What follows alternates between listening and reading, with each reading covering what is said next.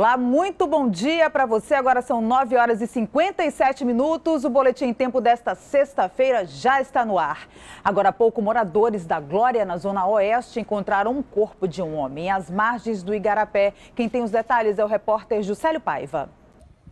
Bom dia, Mariana. Foi isso mesmo. O corpo foi encontrado na beira do Igarapé do São Raimundo, só que na área do bairro da Glória, na zona oeste aqui da capital. Foi um morador que localizou e acionou a polícia militar. Só que pela distância da Orla da Glória até a margem do Igarapé, a PM teve que acionar o corpo de bombeiros para fazer a retirada do corpo do homem a delegacia especializada em homicídios e sequestros também foi acionada para iniciar a investigação, tentar identificar o corpo do homem também junto ao Instituto Médico Legal. Mais informação sobre esse corpo encontrado aqui na área da Glória daqui a pouquinho na programação do Agora a partir das 10h50 da manhã. Eu volto com você ao estúdio.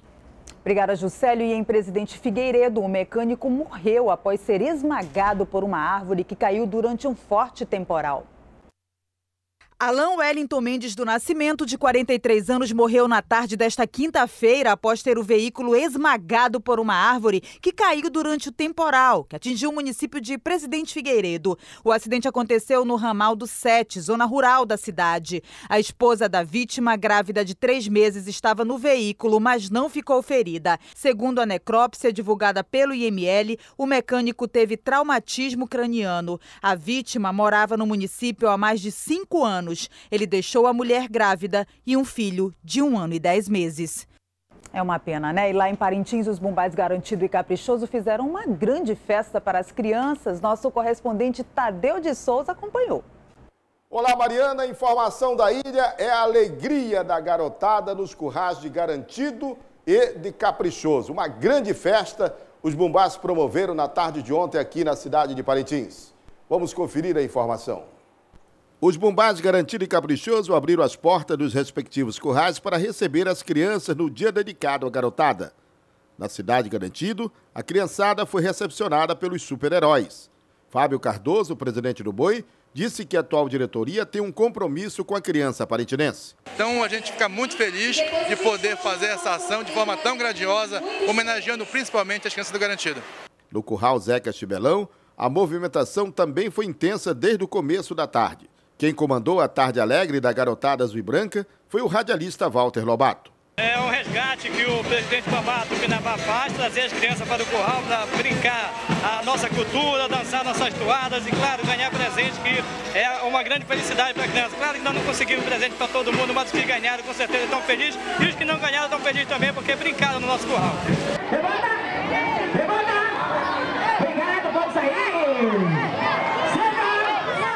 Bom, a gente fica muito feliz, né? Mais um ano de muita alegria, as crianças compareceram, não só as crianças azuladas, mas todas as crianças que puderam vir ao Curral Zeca Tibelão, né? Em torno de quase 1.500 brinquedos nós distribuímos. Mariana, e a programação dentro do Caprichoso continua, porque no próximo dia 20 vai ser comemorado o aniversário do Boi Bumbá Caprichoso.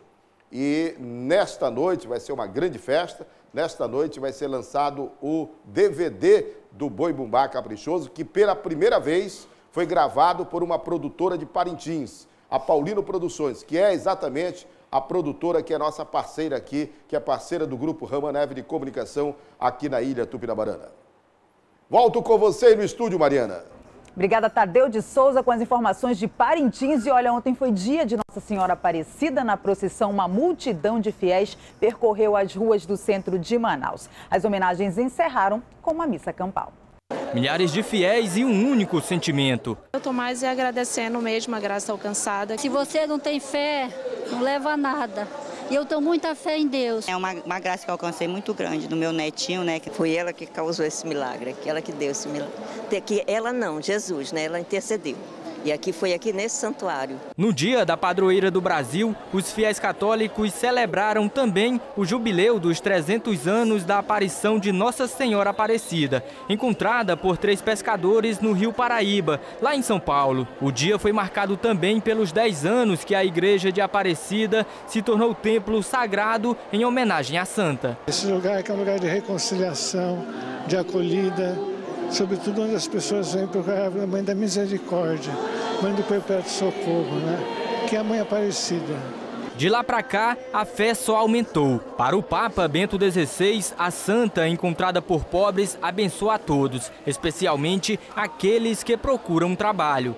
Ontem, os fiéis demonstraram essa fé em uma procissão, em devoção à Nossa Senhora Aparecida. Explicação, é uma sensação maravilhosa, é uma coisa assim inexplicável. A procissão, em homenagem à Nossa Senhora Aparecida, percorreu algumas ruas do centro da capital e reuniu, segundo a Arquidiocese de Manaus, 10 mil fiéis. O dia da mãe, a mãe sempre é bom louvar a mãe, estar com a mãe. Maria, mãe de Jesus, nossa mãe mãe do povo brasileiro, por isso povo gosta tanto dela, né? Os fiéis continuaram pela noite e ficaram até o fim da missa campal. Um dia para ficar na lembrança daqueles que, apesar das adversidades, nunca deixam de acreditar. A programação em homenagem à padroeira do Brasil segue até o fim deste mês. Que lindas as homenagens, né? E uma opção para quem gosta de leitura é a Feira de Livros do SESC, no Centro de Convenções Vasco Vasques. O evento conta com a participação de 39 escritores do Amazonas e de todo o país. E olha, vai até amanhã. Alessandrine é universitária e tem duas filhas, uma de dois e outra de quatro anos. Ela sempre incentivou as meninas sobre a importância da leitura e aproveitou para comprar mais livros. Desde a barriga, eles têm contato com os livros, com a leitura, e a gente sabe que isso é fundamental, né, para que eles possam ter esse apego mesmo com a literatura desde pequenos e isso possa refletir futuramente, né, na vida adulta e que eles tenham mesmo esse hábito, né, de leitura que é extremamente importante. A Feira do Livro do SESC existe desde os anos 80 este ano, o evento conta com a presença de 39 escritores. Um deles é Dori Carvalho, poeta, paulista, mas já mora no Amazonas há 40 anos. Eu acho que esse é o papel principal da, da Feira do Livro, né? aproximar os possíveis leitores, tanto dos livros quanto do, dos autores. Né? Eu acho de fundamental importância para a cidade de Manaus um evento como esse. Neste ano de 2017, a Feira de Livros homenageia Moacir Andrade. Ele que é um grande artista plástico amazonense, conhecido mundialmente. E por aqui é possível ver uma réplica do ateliê dele, localizada no bairro de Aparecida, na casa onde morava. Nós estamos já na 32ª edição da Feira de Livros e o objetivo aqui é justamente incentivar o hábito pela leitura. Hoje nós vivemos num mundo muito complexo, um mundo onde a gente precisa descobrir coisas novas e somente uma boa leitura vem proporcionar a formação do bom cidadão. Esta jovem de apenas 16 anos tomou gosto pela leitura quando ainda era criança. Terror, ficção e romance são os preferidos da estudante. Estou encantada, amei a feira hoje, gente, tá ótimo. E é muito bom porque para nós que gostamos muito de ler, né, aqui, e é incrível, eu achei muito lindo desde a entrada aqui. São 17 estandes repletos de raridades, clássicos que podem ser encontrados com até 50% de desconto, além de uma área de lazer e um espaço de economia criativa. A feira termina no sábado. A entrada é gratuita. Agora, o esporte, nós vamos conhecer a história do Juarez Silva, um atleta que vive uma dupla rotina. Tanto esforço é para realizar um sonho, participar da Olimpíada. O Fred Rocha é quem conta essa história para gente. Acostumado a trabalhar com a água, limpar piscina é o ganha-pão dele. Isso daqui que vem meu ganha-pão. Mas então, qual será o esporte de Juarez? Esporte um pouquinho mais dinâmico, tem que ter um preparo um pouquinho a mais. Ele vive a dura rotina de se dividir entre o trabalho e o atletismo de alto rendimento. Este ano, o Juarez ganhou tudo que disputou, inclusive competições pelo resto do país, mas agora quer dar um passo além na carreira. Nos últimos tempos, Juarez passou a treinar mais, duas horas por dia. É que ele quer correr maratonas de 42 quilômetros, o dobro do que está acostumado. Tudo isso por conta de uma meta. Sim, ousada, mas também possível.